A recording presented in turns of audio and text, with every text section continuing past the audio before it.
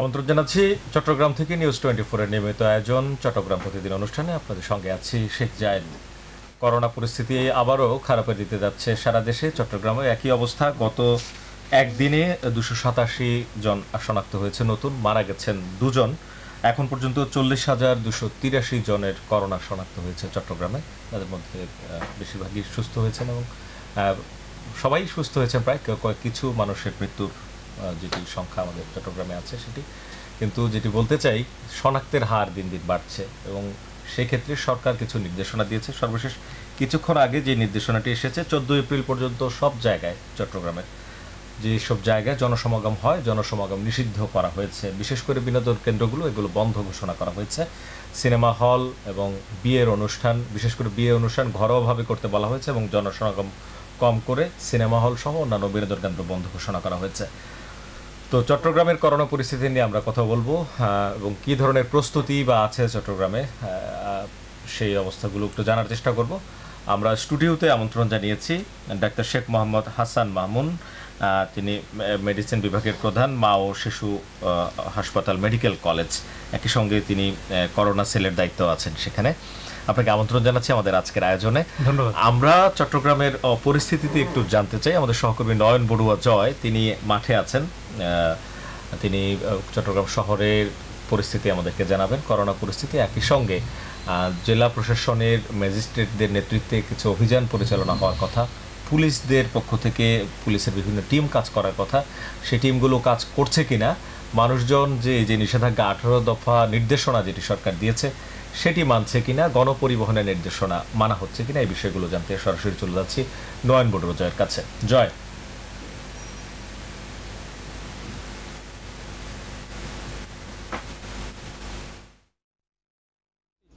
বলেছেন, আমি যেখানে আছি, আপনি অবশ্যই দেখতে পাচ্ছেন গণপরিবহনে।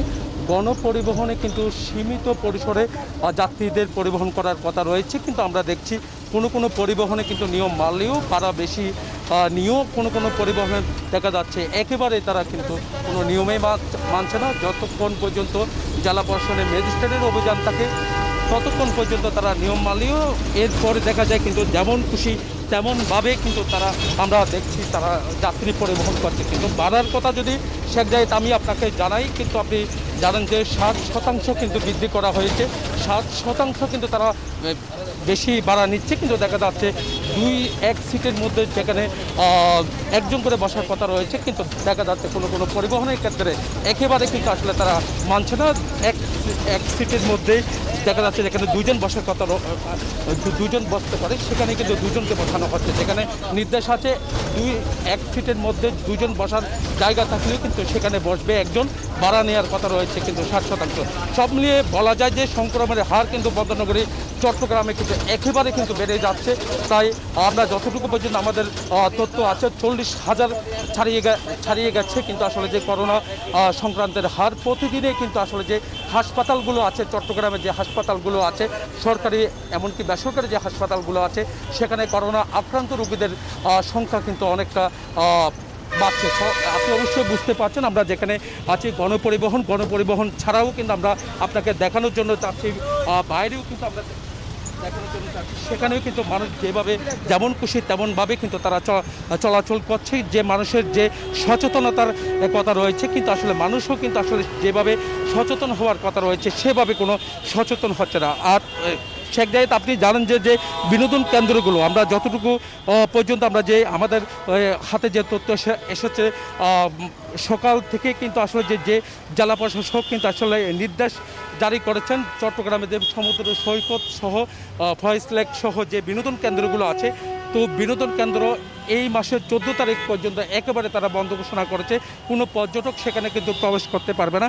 একইভাবে কিন্তু আসলে আপনি জানেন যে যে সিনেমা হল থেকে নিয়ে কিন্তু আসলে ধর্মীয় প্রতিষ্ঠান যেগুলো আছে, সেখানেও কিন্তু যে মানুষের সমাগমের ক্ষেত্রে কিন্তু অনেকটা সীমিত করেছেন। সিনেমা হলগুলো একেবারে বন্ধ রাখার নির্দেশ দিয়েছেন আইন শৃঙ্খলা বাহিনীর কথা যদি শেখ যেহেতু আমি আপনাকে জানাই আইন শৃঙ্খলা বাহিনী খুব একটি সতর্ক অবস্থানে আছেন। একইভাবে যে জেলা প্রশাসনের ম্যাজিস্ট্রেট প্রতিদিনে তারা কিন্তু আসলে ছয়টি ভাগে তারা মানুষকে সচেতন করার জন্য চেষ্টা চালিয়ে যাচ্ছেন। তো এ ছিল আমার এখানকার সর্বশেষ। ফিরে যাচ্ছি চট্টগ্রাম স্টুডিওতে শেখ জাহিদের কাছে। ধন্যবাদ, নয়ন বড়ুয়া জয়। সহকর্মী নয়ন বড়ুয়া জয় জানাচ্ছিলেন চট্টগ্রামের করোনা পরিস্থিতি। এবং আইন শৃঙ্খলা বাহিনী বা জেলা প্রশাসন বা প্রশাসনের কি তৎপরতা রয়েছে, গণপরিবহনের চিত্র কি, সেই অবস্থা তিনি আমাদের জানাচ্ছিলেন। আমরা ফিরতে চাই আলোচনায়। ডাক্তার শেখ মোহাম্মদ হাসান মামুন আমাদের সঙ্গে আছেন। আপনার কাছে জানতে চাই, আপনি নিজেও চট্টগ্রামের বাসিন্দা। এই যে করোনার শনাক্তের সংখ্যা বাড়ছে এবং করোনা ভাইরাস এখন আর আমাদের কাছে অপরিচিত নয়। এখন পরিচিত করোনা না হওয়ার জন্য কি করতে হবে বা করোনা আক্রান্ত না হওয়ার জন্য কোন কোন পথগুলো অবলম্বন করতে হবে, সেগুলো এখন মানুষজন সবাই জানেন। তারপরও মানুষজনকে এখন সচেতন করতে হচ্ছে এবং মানে জেনে শুনেও অসচেতন অনেকেই। চট্টগ্রামের করোনা পরিস্থিতি আপনি কীভাবে মূল্যায়ন করবেন? আমি ধন্যবাদ আপনার প্রশ্নের জন্য। এটা এখন বর্তমান সময়ে পুরো বিশ্বের, বিশেষ করে আমাদের দেশের জন্য একটা বিরাট আলোচিত বিষয়। আমরা দেখেছি আজকে থেকে এক দেড় মাস আগেও পরিস্থিতি অনেকটা অনুকূলে ছিল। এবং বিশ্বব্যাপী সেটা অনেকটা অনুকূলে ছিল, কিন্তু বিশ্বের অন্য অনেক দেশের ন্যায় আমাদের দেশও এটা হঠাৎ করে বাড়তে শুরু করেছে এবং এটা এর মধ্যে প্রমাণিত হয়েছে যে নতুন ধরনের করোনা ভাইরাসের যে নিজস্ব জিনগত বৈশিষ্ট্য পরিবর্তন করে নতুন আকারের কিছু ভাইরাস এখন এসেছে। তো যেগুলো আগের চেয়ে গত বছরের চেয়ে অনেক বেশি ছড়াচ্ছে এবং এবং আমি ব্যক্তিগত অভিজ্ঞতা থেকে বলছি, গত বছরের তুলনায় এইবারে রোগীরা খারাপ হচ্ছে বেশি। এবং এদের ফুসফুস এবং যে শ্বাসযন্ত্র অনেক বেশি, অনেক তাড়াতাড়ি এফেক্টেড হয়ে যাচ্ছে।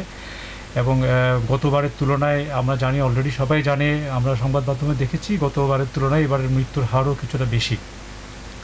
কাজে এখানে চিকিৎসার যে নতুন করে কোনো মানে জাদুকরি কোনো চিকিৎসা এখনও আসেনি। চিকিৎসা গতবারের মতোই যেগুলো, সেগুলোই আছে।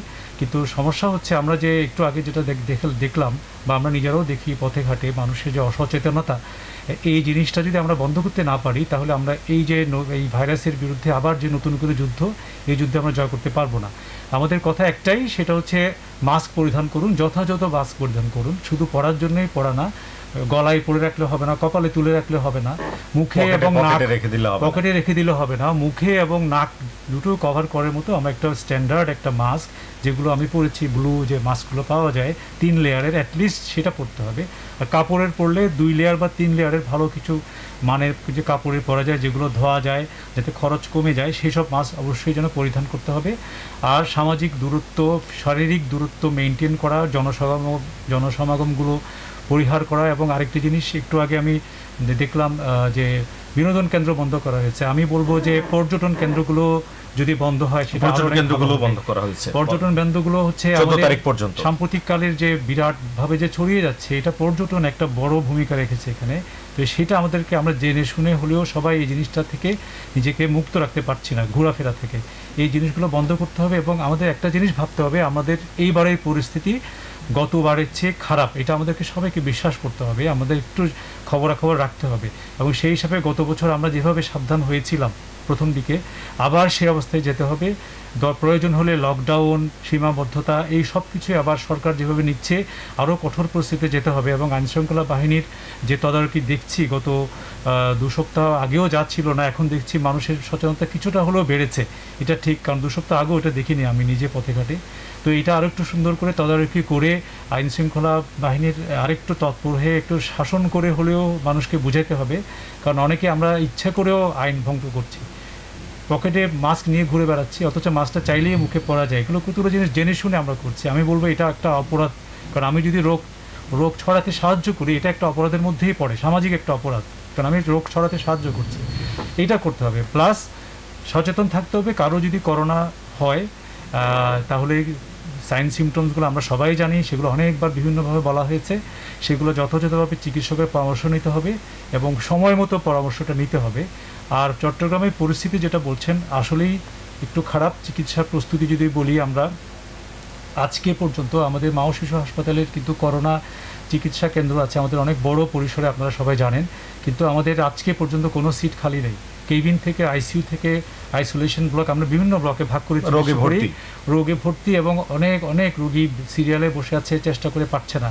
সেই জন্য বাসায় বসে চিকিৎসা করাটা আবার উৎসাহিত করতে হবে এবং ডাক্তারের সাথে টেলিমেডিসিন করে হোক যে কোনোভাবে যোগাযোগ করে বাসায় কীভাবে সর্বোচ্চ চিকিৎসা নিতে পারে এটা মাথায় রাখতে হবে। প্লাস বর্তমান চিকিৎসা যে সুবিধাগুলো আছে, এটা আর একটু বর্ধিত করার জন্য আমাদের সবাইকে এগিয়ে আসতে হবে। হাসান মামুন, আমরা হচ্ছে যেটি দেখেছি যে করোনা যখন বাংলাদেশে আসলো, তারপর আক্রান্ত যারা হচ্ছেন, সেখানে হচ্ছে মৃতের সংখ্যা বা আক্রান্তের যারা হচ্ছেন, তাদের এখানে আমরা বেশি ঝুঁকিপূর্ণ দেখতাম যে যাদের বয়স বেশি তাদেরকে।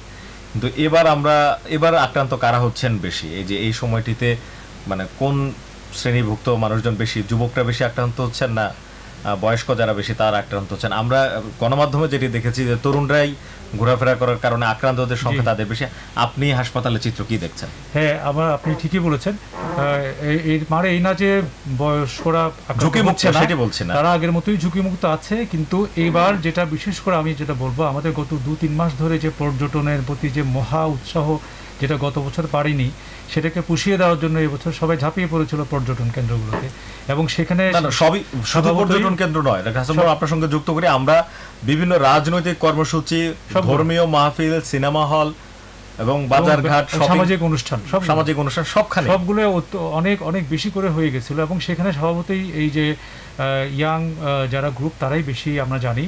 সেই জন্যই আসলে এবার একটু ইয়াংরা বেশি আফেক্টেড হচ্ছে এবং এটা খুবই দুঃখের ব্যাপার। আমরা যেটা বলেছি বয়স্করা হচ্ছে কিন্তু এখন আমাদের যে একটা উৎপাদনমূলক খাতে যারা জড়িত বিভিন্ন পেশায় জড়িত যারা বয়স কম তাদেরকে আমরা হারাচ্ছি। তাদেরও কিন্তু মৃত্যু হার হচ্ছে এবার।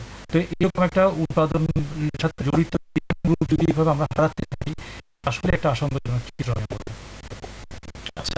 আহ, সেই ক্ষেত্রে হচ্ছে এখন ঘরে কি প্রস্তুতি? আগে তো আমরা যে গরম পানির ভাত নেওয়া তারপরে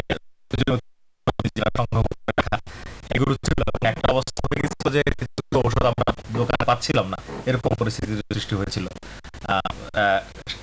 সেই স্থান থেকে কি করা উচিত? এখন আমরা কোন ধরনের প্রস্তুতি আমি যেটা বলব, আমরা একটা প্রতিরোধ করার যে প্রক্রিয়া মাস্ক থেকে শুরু করে সামাজিক দূরত্ব, হাত ধোয়া, শারীরিক দূরত্ব বজায় করার পরেও যদি কোনো কারণে কারও যদি হয়ে যায় সেটা সেই সিমটমগুলো আমাদেরকে একটু খেয়াল রাখতে হবে, বিশেষ করে জ্বর জ্বর, গলা ব্যথা, কাশি, এগুলো হলে আমাদের সতর্ক হয়ে যেতে হবে এবং আমরা যেটা অনেক সময় করি না যে অপেক্ষা করতে থাকি, করোনা টেস্ট করি না আমি বলব যে টেস্ট করে ফেলি কারণ টেস্ট করার একটা অন্য অনেক রকমের ভ্যালু আছে। কারণ টেস্ট করলে আমি নিজেকে সাবধান করব আমার আশেপাশের লোকজনকে আমি সাবধান করতে পারব আইসোলেশন করতে পারব। এটা খুবই ইম্পর্টেন্ট আমরা যদি সাধারণ জ্বর মনে করে সবার সাথে আগের মতো অফিস করতে থাকি মেলামেশা করতে থাকি তাহলে এটা কিন্তু সবার জন্য অনেক বিপজ্জনক এবং এটা হচ্ছে। তো এই জন্য যারাই জ্বরকাশি হবে, তারা যেন দ্রুত এক, দুই দিন, তিন দিন যাওয়ার পরেই যেন টেস্টটা করে ফেলে এবং প্রথম দিন থেকে আইসোলেট করে ফেলে যে যতটুকু সম্ভব বাছাই করতে হবে।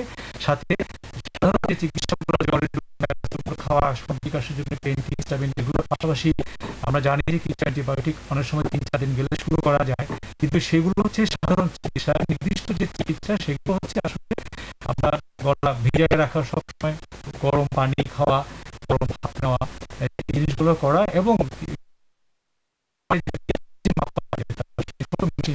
আচ্ছা অনেক এটা oxygen। সেটি যদি নিজেকে অ্যাসেস করতে হাঁটার সময় শোয়ার সময় যদি টোয়েন্টি ফোর পার্সেন্টের নিচে নেমে যায় কখনো তাহলে অবশ্যই আমাদেরকে সেটা হাসপাতালে ভর্তি হওয়ার কথা ভাবতে হবে। সেটা যোগাযোগ করে তার মানে হচ্ছে পরিকল্পনা এবং খেয়াল রাখতে হবে। ধন্যবাদ জানাই ডাক্তার হাসান মামুন আমাদের আজকের আয়োজন আসার জন্য। কথা বলছিলাম ডাক্তার শেখ মোহাম্মদ হাসান মামুনের সঙ্গে চট্টগ্রামের করোনা পরিস্থিতি নিয়ে। করোনা পরিস্থিতি সারা বাংলাদেশ যেরকম ভয়াবহ রূপ ধারণ করছে চট্টগ্রামেও একই অবস্থা। ডাক্তার শেখ হাসান মামুন যেমন বলেছেন সেই জায়গা থেকে যেটি বলতে চাই কোনো হাসপাতালেই করোনা হাসপাতালগুলোতে সিট খালি নেই। সুতরাং আহ, সবাইকেই করোনা স্বাস্থ্য মেনে চলতে হবে আজকে এখানে শেষ করতে